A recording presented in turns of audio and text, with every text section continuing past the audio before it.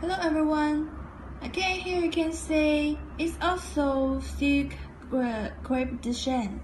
Yes, and uh, this one can tell it's 12 momme. Yes, 12 momme. Okay, you can see the details. Uh, this one is also with that color and printed uh, kind of patterns. Okay, you can see here in the hand with excellent drapery, right?